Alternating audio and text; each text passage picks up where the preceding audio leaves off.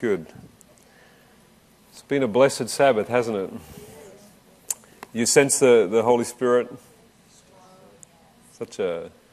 Just really thank the Lord for the, the message that we're able to share this morning. And I, I, I just pray that we will continue to search out the scriptures to know our Father uh, and realize the lies that we've been told uh, about Him. And uh, it's, been a, it's been a tremendous a tremendous journey from that moment in 2000, uh, 2001 uh, when uh, the Lord revealed to me, I just want you to know me, and I don't want anything to come between you and me, and how He's led me step by step. And uh, as Michael was saying, you know, for me, this is for, it's a it's a jubilee for him, and it's a jubilee for me because this is my 50th year. Uh, and interesting, Lillian, that um, it was uh, the 28th of August uh, in 2007 when I handed the return of Elijah to my conference president. It was the day before my 40th birthday, and then I left Egypt. So it was uh, in the doctrine, in the teaching, so the worship of false gods. So it's interesting. Uh, I, I would like to share with you some, some of the joy that I have found in the Sabbath. Uh, and uh, we know that the Sabbath, for those of us who've studied, the Sabbath is the seal of God.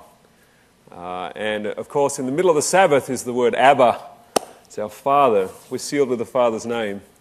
Uh, and uh, so this is a, a tremendously blessed uh, topic for me to share. And so let's kneel once again and ask our Father to, to speak to us.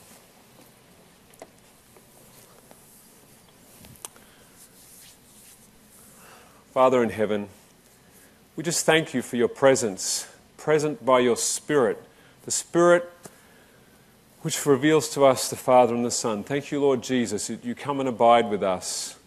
I just thank you so much for your comfort and encouragement.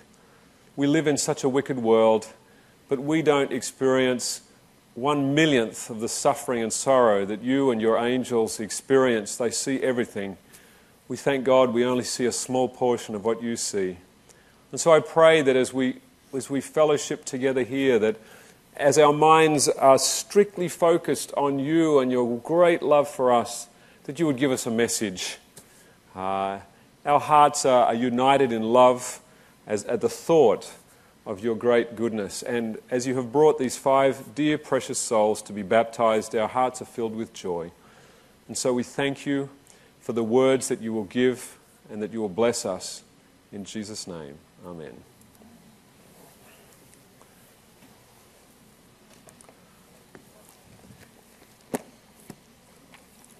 I had both the privilege and the handicap of being raised in the Seventh day Adventist Church. The privilege was that I was exposed to many, many good principles. Um, I guess it's a bit like Paul, where he said, I'm a Jew of the Jews. This I was bapt- I was born in a Seventh Day Adventist uh, hospital. I was raised in Seventh Day Adventist schools, and all those kinds of things. And I'm I'm so extremely thankful for the the blessings that I've received uh, I'm a, a, third generation Seventh day Adventist. Uh, my uh, grandfather on my father's side received a copy of The Great Controversy in, in the Netherlands, and he became a Seventh day Adventist. My grandmother uh, never became a Seventh day Adventist. And on my mother's side, my grandmother, she had been a Methodist, and uh, she studied with the Seventh day Adventist pastor for seven years. Uh, took her that long to make sure she'd ironed everything out. And then one Sunday, when she was in the Methodist church, she said to her children, Next week we're going to keep the Sabbath. We're going to keep all the commandments of God. And I, am immensely blessed to have this heritage of uh, grandparents that have stepped out uh, against their culture, their tradition, and to step into this, this message. And both of my parents, of course, they chose to remain, even though they both had uh, parents that were outside of the Seventh day Adventist faith, they chose to be uh, Seventh day Adventists. They met at Avondale College uh, in Australia, the Adventist college there, and were married. And so, uh, third generation Seventh day Adventist. My wife is a fifth generation Seventh day Adventist. Her great great grandfather was baptized by A.G. Daniells in New Zealand. Uh, and uh, I don't know why I get emotional when I think about this, but uh, um, Ellen White wrote about my gr- wife's great great grandfather, and she said that um, she said that he's true as steel, firm and sure. Boy, what a heritage! And so, uh, and that's the way that that's the way my wife reacts to the fact when I'm traveling for for months at a time, and she says, "God's given you a message, and you need to preach that message, and the people need to hear it." And uh, even though it's tough for her at home, uh, and uh, she never flinches. And I'm, I'm immensely blessed. I'm immensely blessed to be uh, in that kind of a situation. And I, I, I say to you again that the, the strength of my preaching and my message and the things that I have come off the strength of the confidence that my wife has in me. She's never flinched. She stood by me when we lost our house, our car, our careers, everything within the Seventh day Adventist Church. She never flinched once. So, this is the truth, let's follow it. And so, uh, I'm a blessed man. And uh, when we come to the book of Genesis, chapter 2, our Father loves to bless. And so, uh, I pray that in the time we spend together, that what I share with you, that if it is a blessing to you, that in some way I can repay the tremendous blessing that I have received to be uh, part of the Seventh day Adventist movement. It was a tremendous blessing for me to be an ordained minister of the Seventh day Adventist Church. I treasured that position. And so only those who've been in that position, who have had to surrender it, knows the cost uh, of what that cost to be able to, to do that, to follow the Son of God. But uh, Christ, as Peter says, is precious. He's worth everything. He's the pearl of great price. Uh, and uh, I count all things but dung, save for the excellency of the knowledge of Jesus Christ. Uh, it doesn't matter. So we come to uh, Genesis chapter 2 and verse 3, and it says, And God blessed the seventh day, and he sanctified it, because that in it he had rested from all his work which God created and made. This blessing that God put into the Sabbath. Uh, is, as A.T. Jones says in Sermon 20, 1893, this is the presence of God. The presence of God is in the Sabbath. But isn't the presence of God in every day? Yes, the presence of God is in every day. In the cool of the day, God walked in the garden. Uh, and, but what we learn through the principle of the Sabbath, and this is what's so precious about the glorious truth of the Sabbath, is that there are certain times in which God comes closer to us than at other times. We feel an intimacy and a connection to God at sometimes greater than at other times. And all of us who live within families know that there are certain times that when you are together, you feel closer to each other than at other times. This is the way that life works. This is the way that it operates. And God has established a great clock in the heavens to show us those times when He comes closer to us. And to be a Sabbath keeper means that you believe that there are appointments in which God comes closer to you that you may receive his blessing. I mentioned the other night that what God put into the seventh day was the blessing that he put upon his son. This is what's at the heart of the Sabbath truth. On the seventh day, God said to his son, and God saw that it was very good. And he says to his son, Son, this is very good. I'm so proud of you. You're an inspiration. And I, it's, the, it's the blessing, it's the word of a parent to his child saying, I'm really, really immensely pleased. You are a delight to me. This is a time to speak words of blessing. This is the, this is the spirit that comes into the Sabbath. Because in Exodus 31 15 to 17, it says that God rested and was refreshed. And refreshed, that word refreshed means to be blown upon. Well, who was blown upon on the Sabbath? It was the Son of God. Who did the blowing? It was the Father. The Father blew his Spirit upon his Son. And as the Son beholds his Father, so the Son does. When he blew his Spirit upon the disciples, he breathed upon them and said, Receive ye the Holy Spirit. And that's what's so precious about the Sabbath. But growing up as a child, I was not exposed to this idea very clearly, partly because of my own stupidity, but partly because most, uh, as A.T. Jones expresses it, uh, I was exposed to a lot of Saturday keeping. It's a day where you can't do anything. It's a day where you can't do the things that you want to do. It's a day when you pray for the clock to go 12 o'clock so that preacher at the front can be quiet so I can have something to eat and go home. That's the downside of being raised in the Seventh day Adventist church is that the Sabbath is a burden. Because when you are a child, you're under tutors and governors until the time appointed. and so the Sabbath was a burden to me. Uh, I was in the Old Covenant, and uh, my uh, frustration and boredom was simply a reflection of how I was looking at my Father in heaven. And uh, that it was a restriction. I wanted to do what I wanted to do. And so, this is what God has put into the Sabbath His blessing. You are my beloved Son. We know that when God spoke to His Son 2,000 years ago, You are my beloved Son in whom I am well pleased, this isn't the first time that He said this. when, we, when we understand the principle of invisible and visible, and I, I don't know if I've explained this. Um, when God created this world, did sin exist? Not on earth, but did sin exist?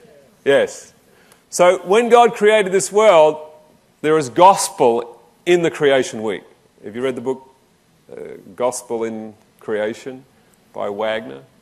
And so uh, we have on the first day that God created light. God, who commanded the light to shine in darkness, has shined in our hearts in the face of Jesus Christ. Day one is expressive of the new birth but we don't see where the light comes from. The Spirit is speaking. But when we come to day four, we see that the sun and the moon appear. Objects of light appear. The light, which was, you couldn't see where it was coming from, it appears. And this is an important principle, the one, what I call the one and the four principle, because uh, God spoke told his son from the very beginning, You are my beloved son in whom I am well pleased. But at the end of the fourth millennium, it becomes visible. You, you see the principle? The light becomes visible. It's a one, the one in four principle. Uh, invisible, visible over the one in four. Same, when you put a seed into the ground, it's not visible, but then it comes forth and it becomes visible. And it, this is just something that I have, that I have observed. And so, this blessing, this uh, this intimacy between Father and Son. You are my beloved Son in whom I am well pleased. This is the Spirit that comes to us on the Sabbath day. But God didn't stop. He didn't stop with just the Sabbath. I want you to notice in Matthew 11 29. Matthew 11 29.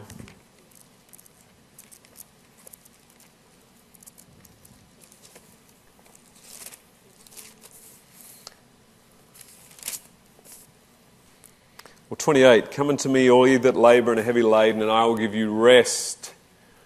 Jesus can give, give us rest because he is in the bosom of the Father. He receives his Father's Spirit because he says, I do always those things which please him.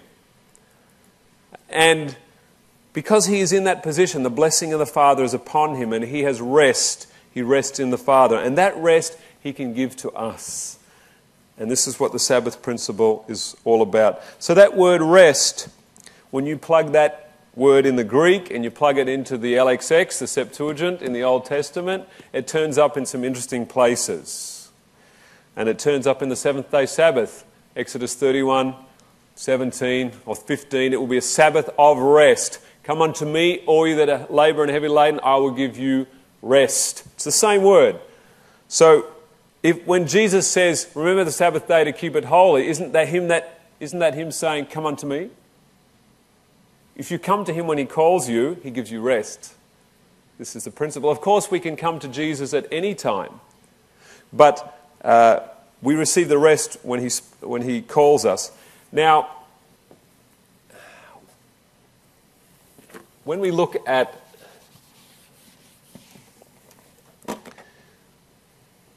When we look at this word, rest, come over to Leviticus chapter 23. This word appears in a number of places. It appears in the seventh day Sabbath. And then when you read Leviticus 23, this same word that Jesus speaks about, it appears in the Feast of Trumpets, in the Day of Atonement, and in the, and in the Feast of Tabernacles. What's significant about these three feasts is that they all fall within the seventh month. So we see that not only is there the seven days, we have the seven days where it's one, two, three, four, five, six, and then on the seventh day, this, this Shabbaton, this rest, comes to us where we can enter into the bosom of the Father more firmly than any other day of the week. But then we have, uh, as it e- expresses here, and I'll, I'll put it down a bit further one, two, three, four, five, six, seven months, and the seventh month has the same rest principle in it. So that through this, the, the, the language that's used here, this, the, the same pattern of the seven days is reflected in the seven months, so that you have a week of months. And it's following the same principle. Does that make sense? So, when we come to the, the first feast, uh, which of course is the seventh day Sabbath, we're familiar with that one. Then it says in verse 6 And on the fifteenth day of the same month is the feast of unleavened bread unto the Lord. Seven days you must eat unleavened bread. So each seventh day, you have this rest principle. Then you have the feast of unleavened bread, which is seven days. The first day, uh, the first day is a holy convocation, and the last day is a holy convocation. But it doesn't use the word Shabbaton. And the reason it doesn't use the word Shabbaton is to create this seven, this seven months, to create a week of months, so that the seventh month is higher than the others. But the Feast of Unleavened Bread is still following the seven principle. Does that, does that make sense? So the Feast of Unleavened Bread is made in the image of the week, and you're following that principle. And as we'll talk uh, later on tonight, it's very, very, very interesting what's going on in the, in the Feast of uh, Unleavened Bread. Now, after the Feast of Unleavened Bread, we come to the, the, in the, during this Feast of Unleavened Bread, we have the offering of the first fruits. And it says, after the Sabbath, after the Sabbath, during the feast, and that's the seventh day Sabbath, after the Sabbath, you start counting how many weeks to get to Pentecost? We count seven weeks. One, two, three, four, five, six, and there's another seven in there.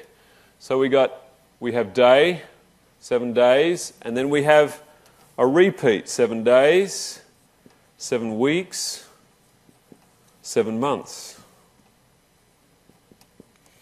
Can you see the magnification principle through the feasts? The seven days, seven weeks, seven months. But it doesn't stop there. You go to Leviticus 25, you have another, a seventh year, the Shabbat of the seventh year. So we, we're counting again one, two, three, four, five, six, every seventh year. Now, this is where I want to share with you something. This is my personal experience, and I was completely unaware of this but if you follow from the AD 34, which is the completion of the 490 years of Daniel chapter 9, and you just start counting seven year periods from there, you go along, along, along, and then you come to the year 1979 1980. It was in the year 1979 that I was first baptized. It was a seventh year following that cycle. I was baptized at 12 years of age. I was baptized into the church before they changed into the Athanasian formula. So that was a real blessing uh, before that Dallas statement came in in April of 1980. Uh, but what was interesting is that when I was 19, I experienced true repentance for my sins, and so in 1987, which is at the end of the next seven year cycle, August of 1987, I was baptized again. Uh, first time I was baptized into the church, that was more of a confirmation, but it was still a, a decision I made for God. Seven years later, I'm baptized. Seven years later, I received my call into the ministry, 1994. Seven years later, I received my message concerning identity wars in a seven year cycle where there's a major shift in my life occurring in 2001. 2008 was where uh, was the next major shift in my understanding where I uh, rejected uh, 7 and 8 was where there was a rejection of the Trinity uh, and coming into the Father and Son. The book Life Matters was written at that particular time. 2015, this was the next seven year period where I came into an understanding of the feasts and the character of God. Major shifts occurring every seven years to give this land some rest. You see the principle? So when I look at my life, every, every seven years there's been major decisions that have taken place in terms of ministry, in terms of message, in terms of all of these sorts of things. I'm interested for, I've had other people talk to me about these, these cycles with themselves because uh, Ellen White wrote excitedly to Stephen Haskell about the sabbatical year, about the seventh year, and said, There's a lot of light in Leviticus and Deuteronomy. We should be studying these things. Very, very interesting. When did she write that? That's what again, wasn't it? That was around 1900. I think that was around 1899, 1900 that she, she wrote those things. And uh, so uh, that, that's something that I have experienced in, in my life that I'm saying, well, maybe that's a coincidence. Really? Uh, it, it, makes sense because when we, when we read, and this is, the, po- this is the point, when you go to Leviticus 25, it says, uh, verse 4 But in the seventh year shall be a Sabbath of rest. And wherever you read that word Sabbath of rest, you need to think of the Spirit of Christ that is coming uh, with that rest that we need for our souls. Does that, does that make sense? There's a fountain of Spirit that's coming out, and it comes out every seventh year. And this is something that, as I began to look at this, so we come into the seventh the seventh year. And then what, what happens after that? What's the next major appointment after the seven year appointment? Jubilee, which is seven times seven years. So you get seven times seven years, and then, uh, which is Jubilee. And then what's, what happens after that? The seven thousandth, the seven thousandth year, or, or the, that period of se- thou, the last seven, you know what I mean? the millennium. It's a period of rest, isn't it? So, uh, millennium. And how many is that? One, two, three, four, five, six, seven. See all the sevens? It says in the book Spiritual Gifts that God's people should learn to number by sevens. Seven days, seven weeks, seven months, seven years, seven times seven years, and the 7,000 years. This is a fountain that is flowing out where the grace of God is, is coming to us. I, I don't believe that's a coincidence. And it's a, it's a reminder to us if you come to me when I call you, that, that I, will, I will bless you. And so, the other thing that has been interesting uh, to me is that when we look at the, the divine pattern, the weekly Sabbath is observed by the seventh day, and of course, the day is regulated by the sun. So, the, the, se- the seventh time we see the sun go across the horizon is the Sabbath. So, we, we measure the weekly Sabbath by the sun. And all of, the, all of the annual feasts are measured by the moon. Is there a divine pattern relationship between the sun and the moon? Is it, isn't it the light of the sun shining through the moon? So that we can, at night, we're looking at sunlight through the moon. So there is a source channel relationship between sun and moon. Is there a source channel relationship between Sabbath and the feasts? So when I accepted the Father and Son, I began to look well, where is the divine pattern in all aspects of my life? This is what I was looking for to see, well, well, what about uh, the Bible? Well, it's a divine pattern Old Testament, New Testament, source channel. What about my life? Well, I was brought into this world through a source channel principle, my father and my mother. What about the Sabbath? Well, we have the seventh day Sabbath. Where's the channel? Where is the channel principle? And so that made a lot of sense to me.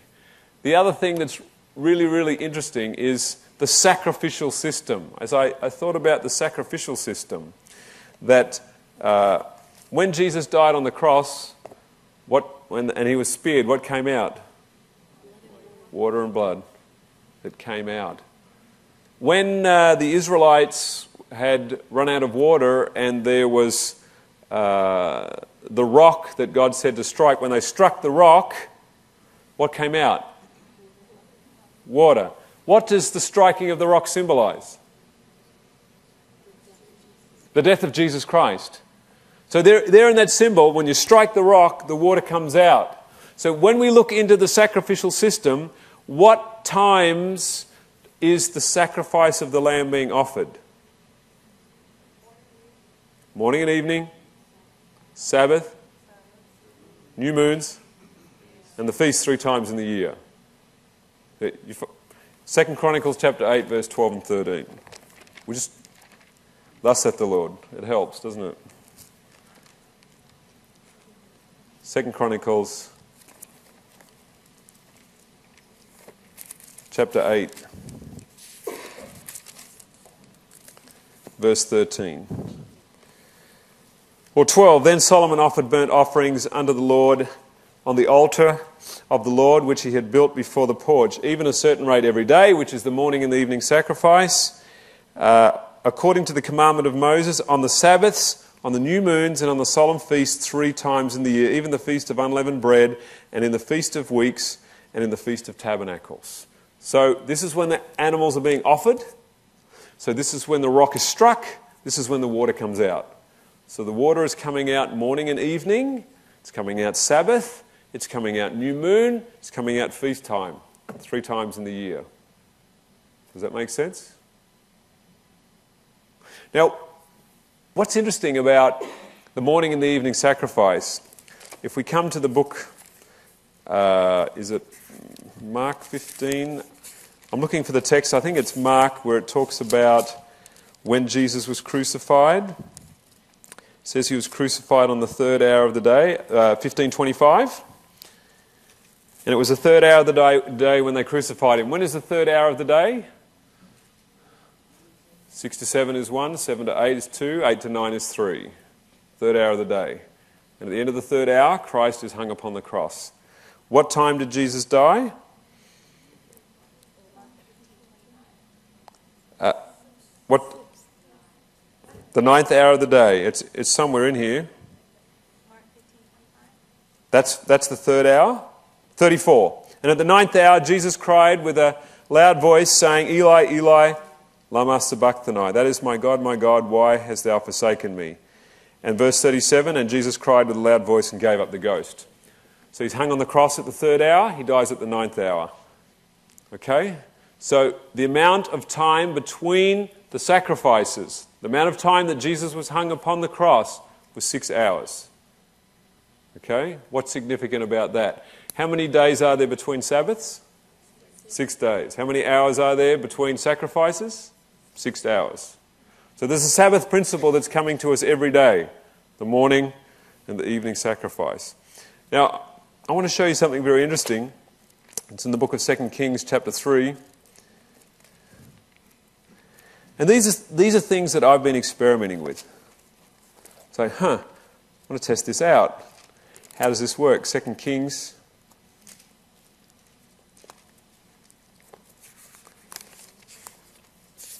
2 Kings chapter 3.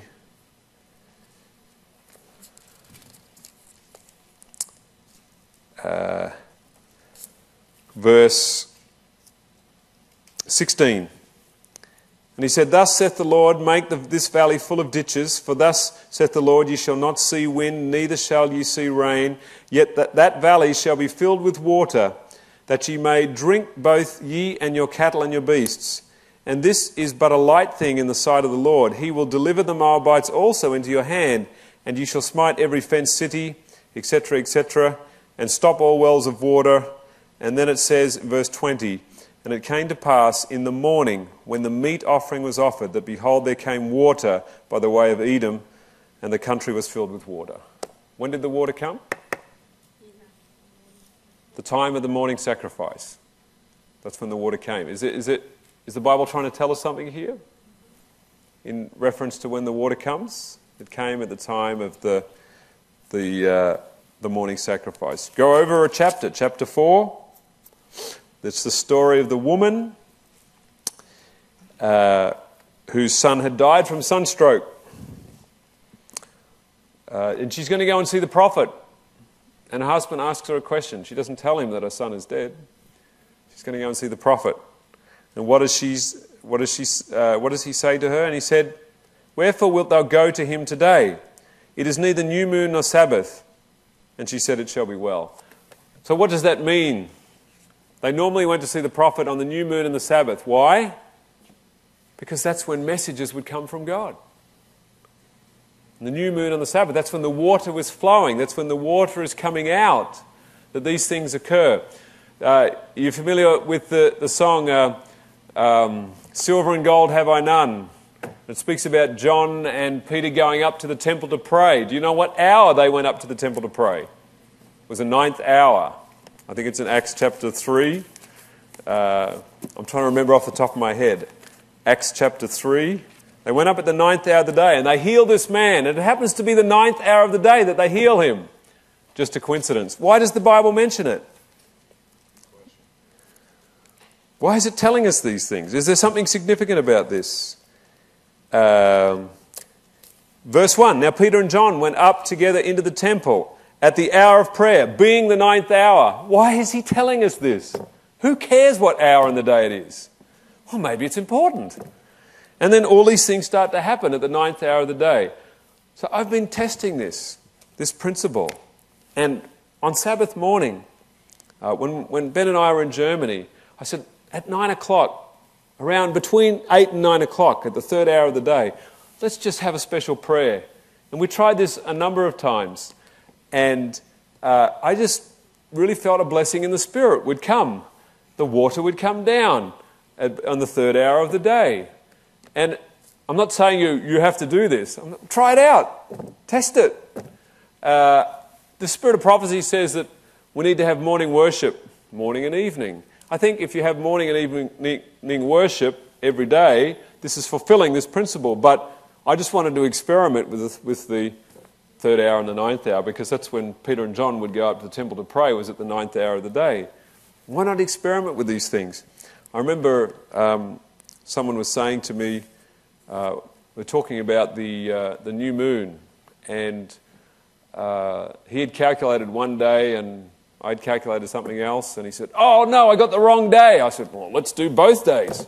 I want to get as much water as I can get. I'm not worried about, about, about those things. I'm still learning, I'm still experimenting, but there's something here. And so we see in Acts chapter 3, verse 19. What does it say to us?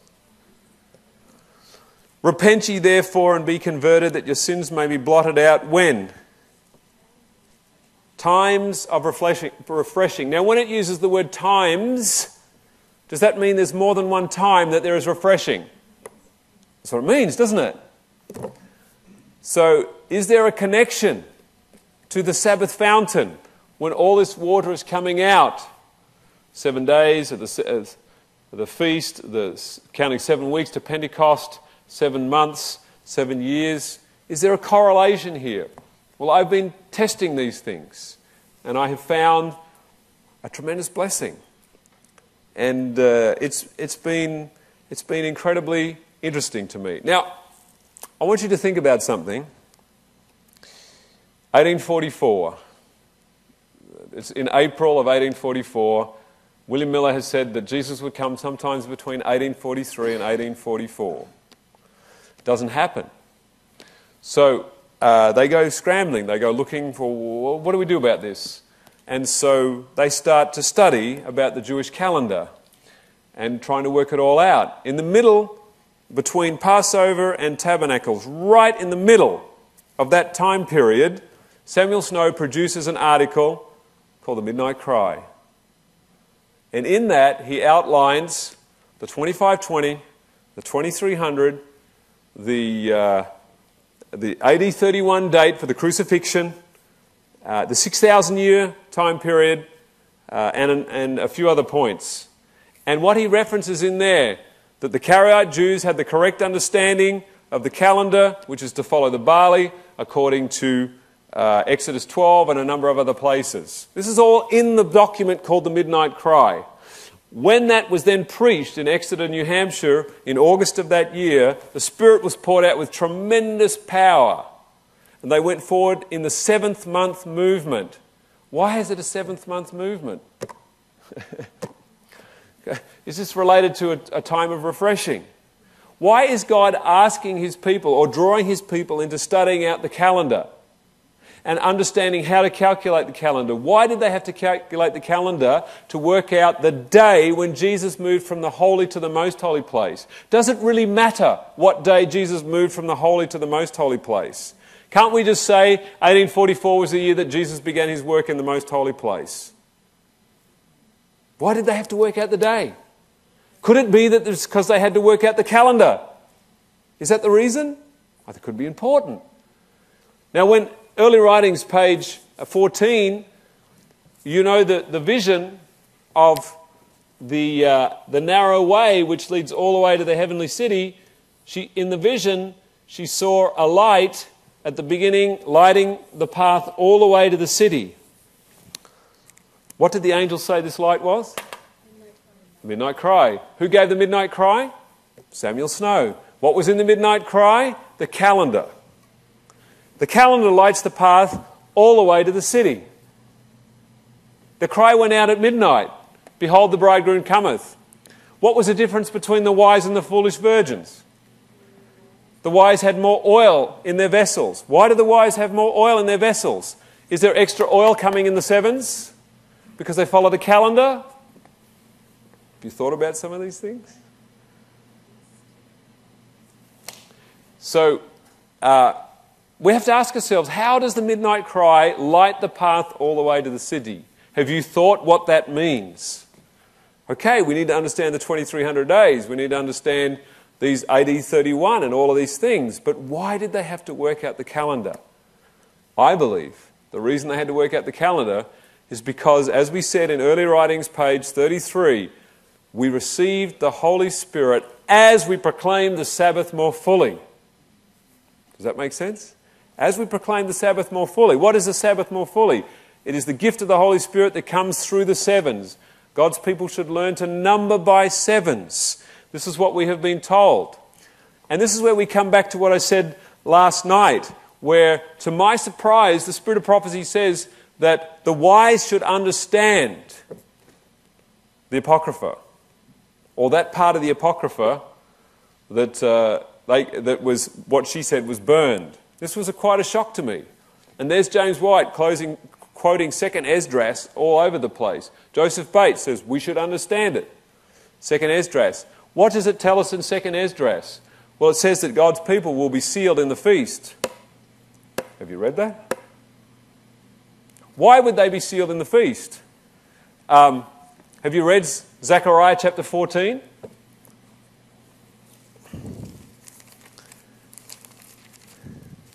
Zechariah 14. By, by this stage, what I'm sharing with you now is considered by most people so utterly, completely heretical that I just don't care anymore. Um, so read Zechariah as I, as I say to people. I didn't give up my credentials in the Seventh day Adventist Church to take one step out of apostasy. I want it all. I hope you feel the same way. So don't be afraid to study the scriptures.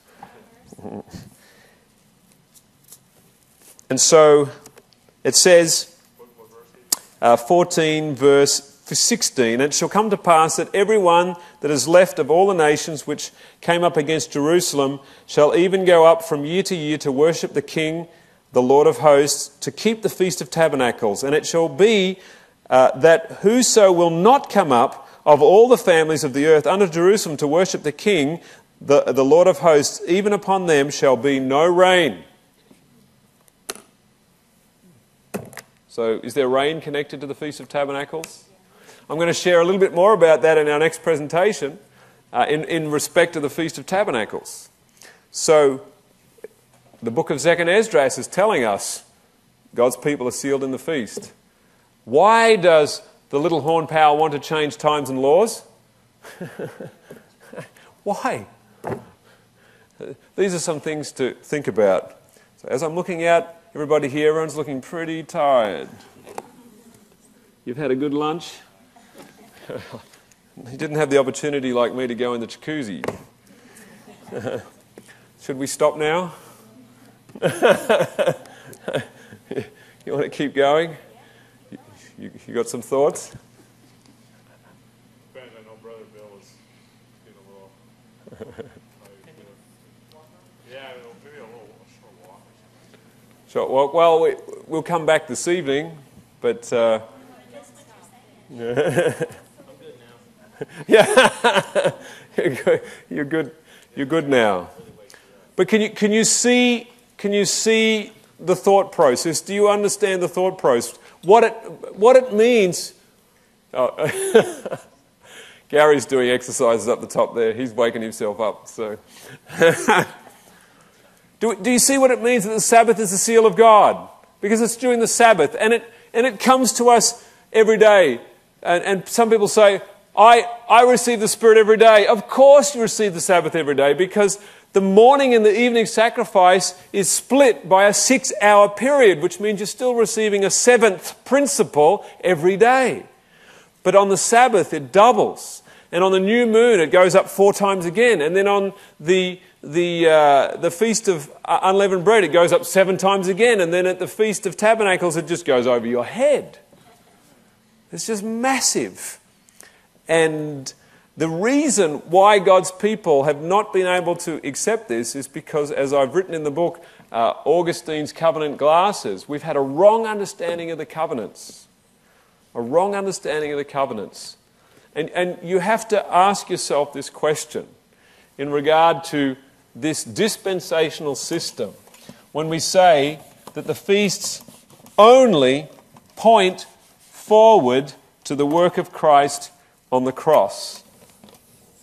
So you're going to tell me that these people back here were engaged in ceremonies and sacrifice ceremonies and days of worship that had absolutely no benefit to them whatsoever. It would all they would be doing all these things for us and they would receive no benefit whatsoever.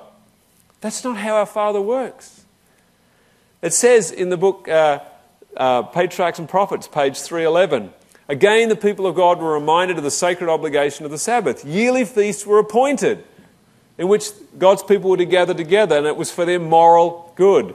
How can this ceremony point to the Sabbath without having the taste of the Sabbath in it? And so when you read Leviticus 23, you see the word Sabbath, Sabbath, Sabbath. So when Jesus died, uh, uh, are we trying to tell ourselves that Jesus nailed all of these Sabbaths to the cross? All of this rest, all of this blessing that He's pouring out upon His people. Is He nailing all of this to the cross? I'm feeling a bit ripped off if that's the case. And you have to ask yourself the question in Numbers 28 and 29 why are there different measures of flour and oil for the different sacrifices at different times of the year? People that say that everything finished at the cross cannot answer the reason for that question. It doesn't make any sense. Just like, oh, well, we just got to keep them busy until Jesus comes. Keep them doing something. Does that, you understand what I'm saying? So, this is, this is my contention that the, the, uh, the message of Samuel Snow in 1844 provided to God's people a calendar which would light the path all the way to the city to provide the wise virgins the oil necessary to receive the seal of God. Because what does it say?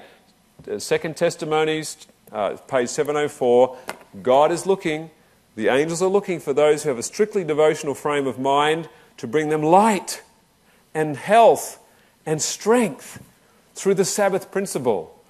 And what else does a Sabbath more fully mean? We, we, we looked at this the other night, Exodus chapter 5. Those who, where Moses uh, was said, if we don't keep this feast, there'll be famine, sword, and pestilence that fall upon us. Ellen White says those who preach the Sabbath more fully are protected from sword, famine, and pestilence. I, think the connections are there, and they're pretty, pretty strong.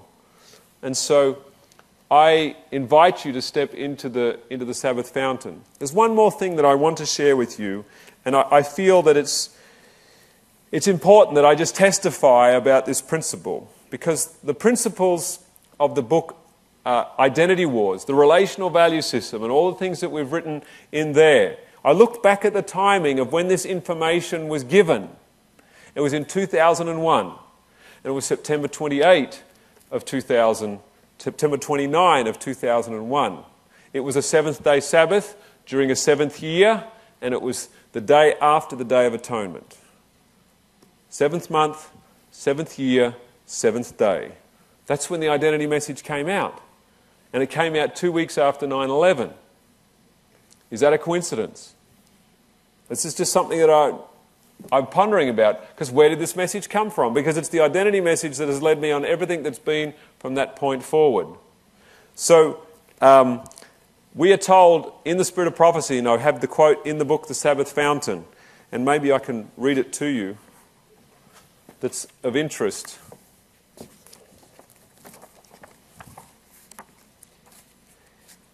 Um, How comes the word that I have declared that New York is to be swept away by a tidal wave? This I have never said. I have said, as I looked at the great buildings going up there, story after story, what terrible scenes will take place when the Lord shall arise to shake terribly the earth. Then the words of Revelation 18 1 to 3 will be fulfilled. And she goes on to say, I have no light in regard to what's coming on New York, only I know that one day the great buildings there will be thrown down by the turning and overturning of God's power. So, when the great buildings in New York are thrown down, then the fourth angel's message will begin. Are you familiar with that quote? Review and Herald, July 5, 1906. 1906. Revelation 18, 1 to 3 is the fourth angel's message. It says, When the towers in New York the great towers in New York come down, then the fourth angel will begin. That's what it says. Interesting how she says the turning and overturning. The turning and overturning of God's power. Yeah. God punishing sin with sin. Is that of interest to you? And as I've looked at major parts of the messages that have come to me, I was completely unaware of these appointments. The book Divine Pattern. Where does the principle of the divine pattern come from? Source channel as a mechanism for reading all of the scripture and everything around you. That book began to be written on the Feast of Trumpets. And it was written right through until the beginning of the Feast of Tabernacles in 2011. Is that a coincidence? Maybe it is. But that's when it happened. Uh, as a warning to fear God and give glory to Him. I'm just sharing these points for you to think about. Uh, I'm not fully understanding what it means, but I've certainly had a blessing learning these things. Uh, and uh, the danger of saying these things is that uh, I bear witness of myself. My witness means nothing, it's completely irrelevant. But you need to know the information. You can make up your own mind whether this is connected to the fourth angel's message, whether it's significant in terms of us receiving the seal of God. There's one thing I know for sure that when there's an alignment, this is a, on the earth, when there's an alignment of sun and moon with the earth, what happens to the tides? When there's a new moon or a full moon, what happens to the tide? There's a greater tide on the earth. If you were to align the Sabbath of the, of the week with the Sabbath of the month and you put them together, you're going to get a greater movement of water on, on the earth. Is God trying to tell us something? I've tested this principle. We tested it here in, uh, in 2013 down in Jasper where we, we had a blessing. We did the blessing principle with the seventh day Sabbath during the Feast of Tabernacles. Those of you that were there will remember what happened. Uh, it was a tremendous experience, but there was a great blessing that, uh, that took place. Do these things happen by coincidence? I've been testing it for a number of years now. It's not a coincidence, not in my experience. So I commend to you the Sabbath fountain. Learn to number by sevens. Look for the appointments that God has given us and uh, receive the, the, the gift of the Holy Spirit. Thank you for your patience. Shall we pray?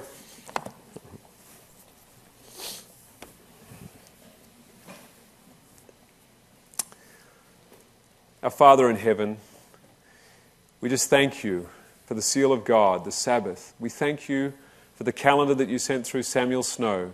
We thank you that you sent Jones and Waggoner to break the deadlock of the Augustinian dispensational principles of the covenant so that we can see that there is an everlasting gospel, that you are the same yesterday, today, and forever, that you gave these appointments to pour out your spirit, to pour out the water. As it says in Ezekiel 46, that you will open the, the gates of the temple on the Sabbath and on the new moon, and that from one new moon to another and from one Sabbath to another shall all flesh gather before me. For some of us, these things are strange because we weren't raised with the idea of new moons and other things. It seems completely ridiculous. But Father, help us to overcome our prejudice and to study and be Berean about these things that we may receive all the fullness of the Holy Spirit. And we thank you in Jesus' name. Amen.